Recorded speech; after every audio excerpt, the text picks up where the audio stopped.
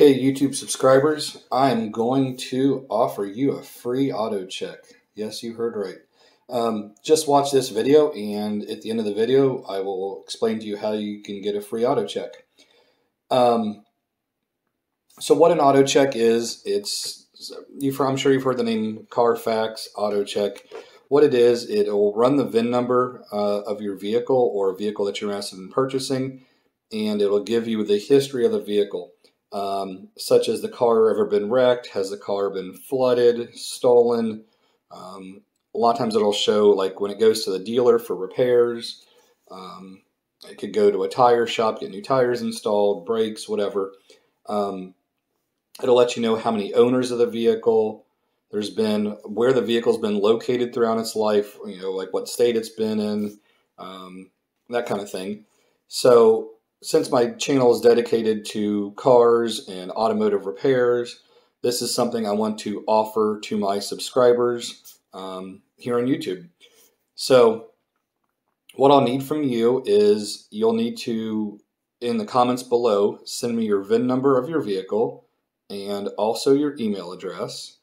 And from that point, I can look up your vehicle for you. For example, just just a random car that I picked it's going to come back looking like this. This vehicle from this VIN number comes back as a 2004 Acura TL.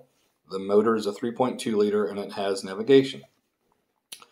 Uh, the vehicle is 18 years old. It's been uh, the vehicle was assembled in the United States. It's able to tell you that.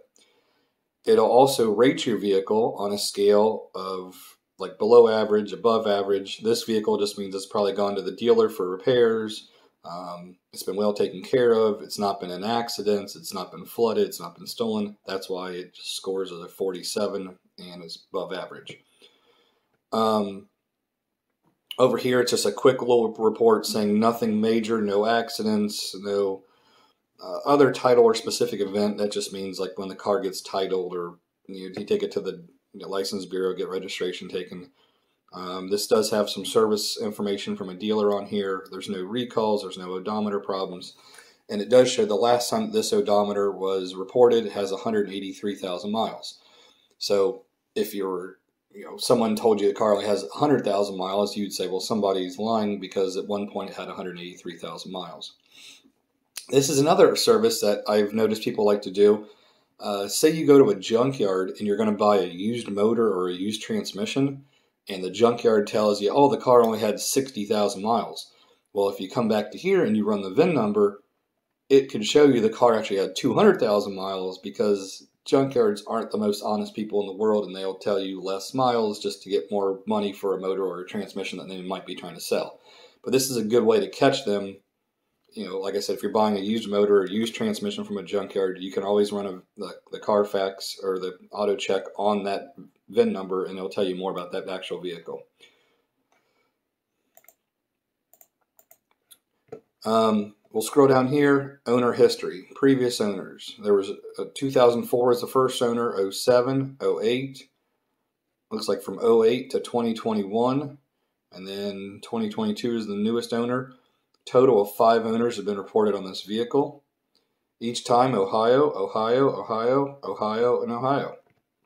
So it's been in, Ohio its whole life. Uh, some people might lie or tell you, oh, the car's from Florida, or it's never been in snow, or that, you know, for an example, this will just tell you where the car's been its entire life.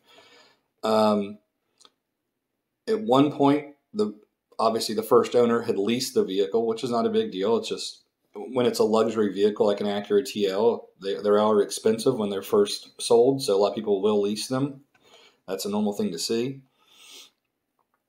Um, nothing reported here, as in, you know, fire, hail, flood, junk, uh, like a lemon law, a salvage title, rebuilt title, odometer problems or discrepancies.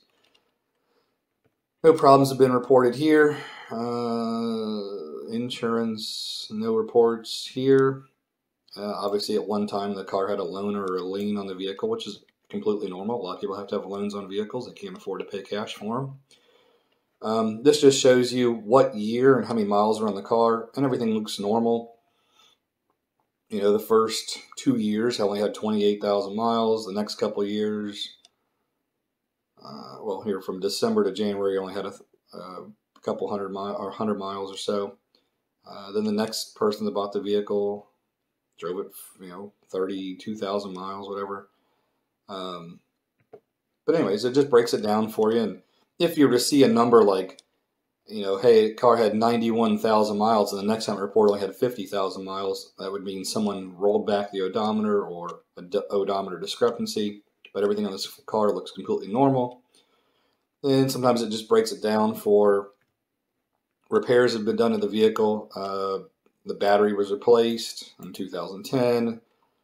Um, I just know this dealer, Columbia Hyundai. It's also an Acura dealer in the same exact location, so it wasn't going to a Hyundai dealer; it was going to the Acura dealer. But um, it just shows you it was serviced, serviced. You know the times it was going to the dealership. Here's another dealer service, independent auto repair, wheels or tires. This just means they put new tires on the vehicle. Um, but just breaks it down your registration, when the titles switched hands. Um, you know, you got the date, you got the location of where it's at. Um, a lot of them will have the mileage added here as well. I mean, you can see the car was in Dayton, Ohio. Here was in Columbus, Dayton, Cincinnati, Monroe, Cincinnati, Franklin, Indian it just it just breaks it down for you. So, you know, you can see a red flag if a person. A lot of times, people might say this is a one owner vehicle. Well, if you run the the uh, auto check, it'll show you how many people actually own the vehicle. A lot of times, people don't tell the truth when they say that kind of stuff. So, anyways, uh, this is just a quick breakdown of what it looks like. And so, how I'm going to do this is, like I said, I'm an auto I'm an automotive person and I want to offer this auto check free to my subscribers. And all that I need you to do is just leave a comment below, your VIN number, and your email address. I'm going to start out by picking one random subscriber per week. And at that point, I will then email you the auto check. Um, if this picks up and catches on and it becomes very popular, I might decide to do this once a day and just pick a random subscriber once a day and give a free auto check. So I appreciate all my subscribers on my channel, and this is a service that I want to offer you. So all you need to do is like this video, make sure you subscribe to my channel, and leave a comment below. Um, also, if you just want to share this with your friends, family members, um, whatever it may be. But I appreciate you guys watching and being my subscribers.